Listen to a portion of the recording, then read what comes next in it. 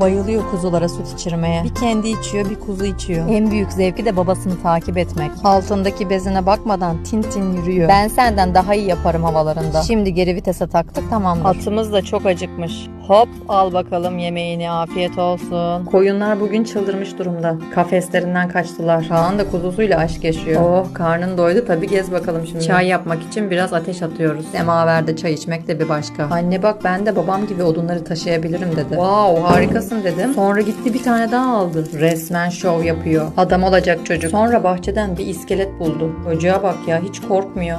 Bizim eşek şu an çıldırmış durumda. Yeter artık gezdirin beni diye ısırmaya kalktı. Hadi o zaman dedim takıl peşimize gidiyoruz. Attım atayı bisiklete çıktık yola. Biz önde eşek arkada. Onu manzaralı bir yere getirdim. Hadi biraz keyfine bak dedim. Baktım Kaan ata binmiş peşimizden geliyor. E bari kuzuyu da yanında getir dedim. Eve döndükten sonra bizim Semoş kendini yerden yere attı. Hadi çocuklar bez değiş